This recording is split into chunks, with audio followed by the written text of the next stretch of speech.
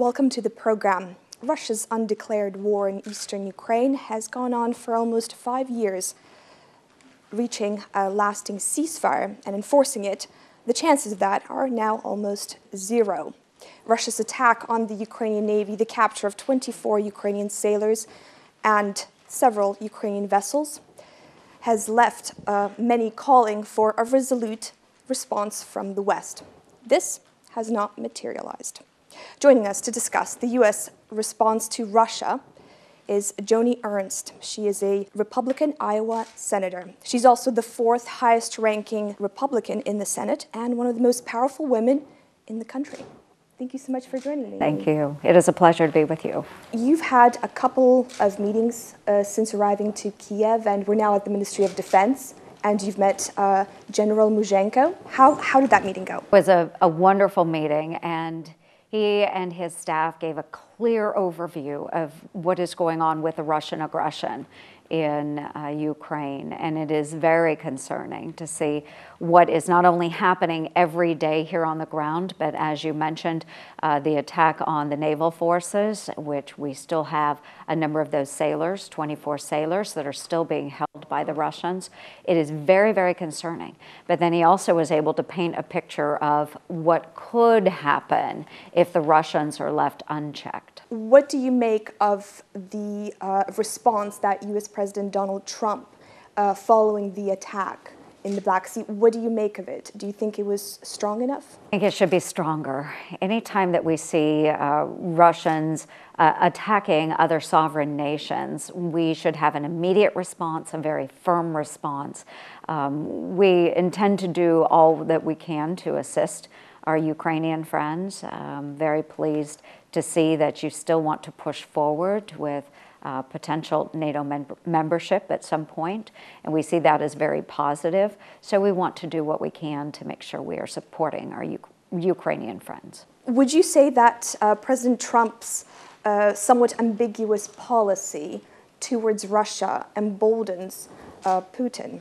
Well, I'd love to see a stronger response. What you will see coming from Congress, though, is a very unified response, regardless of our party and our background and the regions that we're from in the United States. Uh, I would say, by and large, um, almost all members of Congress firmly believe that we need to push back against Russian influence and its aggression, no matter where it is. The Munich Security Conference has ended recently and uh, leaders from across the world gathered to talk about different policies. And one of the issues was the Russia's undeclared war in eastern Ukraine. And something that was mentioned, a proposal for creating a common defense infrastructure in Europe. It was proposed by a German politician. Um, this would essentially divide US and European security. What do you make of this? Ukraine would be part of this, of course, but it would be separate. Of course, would want to know more about the policy. Um, I do think that we need to step up efforts here in Eastern Europe, of course, as we see Russia continuing to be emboldened and, and pushing out not only in Ukraine but in other regions as well. Uh, they have a tendency to operate just below the threshold of actual uh, armed conflict in many areas. So not only do you have an active war here in Ukraine, but you have other what we call gray zone activities going on with electronic warfare, cyber attacks, things of that nature. So again, going back, I would want to make sure that whatever we're doing, it is a cohesive effort to push back against Russia. You are on the Senate, uh, Senate Armed Services Committee, and um, after the attack, uh, many analysts and politicians were asking for, uh, for Ukraine to um, receive lethal aid in the form of anti-ship missiles, radars, intelligence, um, surveillance systems, uh, that sort of additional lethal aid. Is that something that could be considered potentially? After that attack, we did allocate an additional $10 million. Um, and uh, as far as the specifics of the $10 million, we'll leave that up to our subject matter experts, um, those that are, are selling those arms, those that are acquiring those arms. But I do think that when it comes to lethal aid, we need to make sure that we are providing access to that for our Ukrainian partners.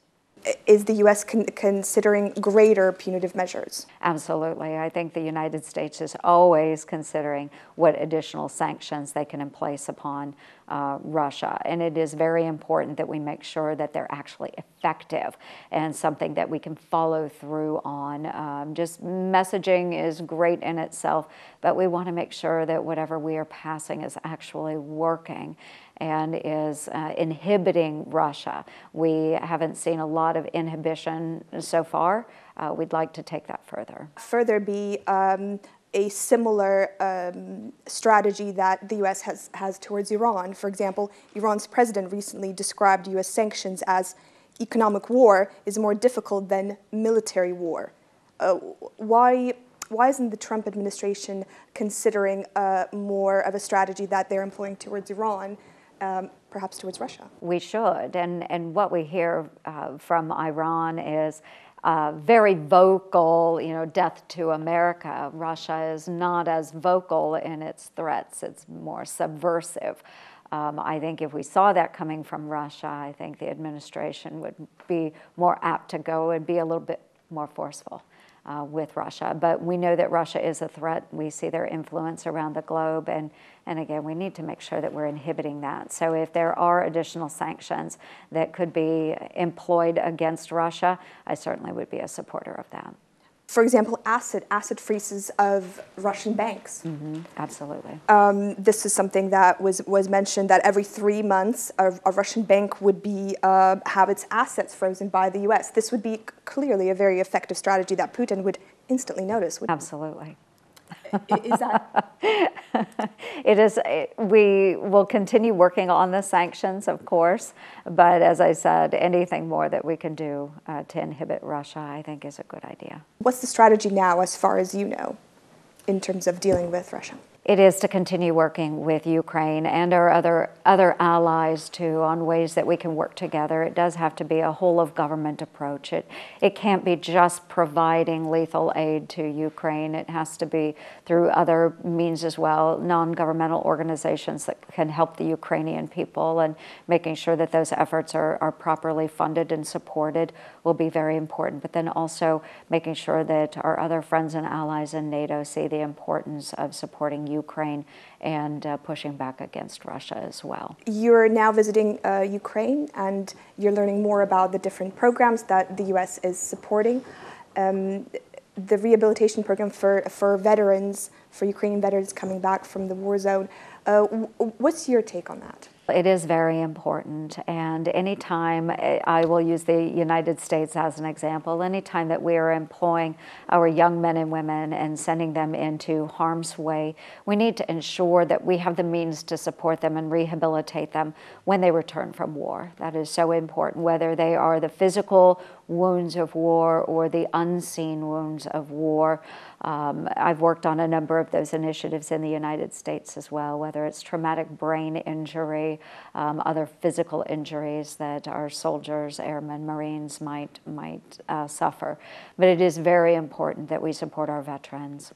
Do you see yourself potentially working on some sort of initiatives or programs here in Ukraine to help war veterans dealing with um, unseen wounds such as PTSD and uh, any sort of psychological uh, problems that they suffer when they return. Certainly, and if that's an issue that I can I can work with a Ukrainian delegation, we have our own programs in the United States that we have in place. I think they've been they've been effective. Can we do more? Certainly, we need to do more, um, and would be happy to work on those initiatives as well with your Ukrainian veterans.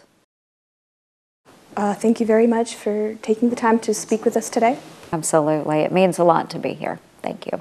We've been joined by Joni Ernst. She's a Republican Iowa senator. Uh, she's visiting here in Kiev, and you're watching UATV.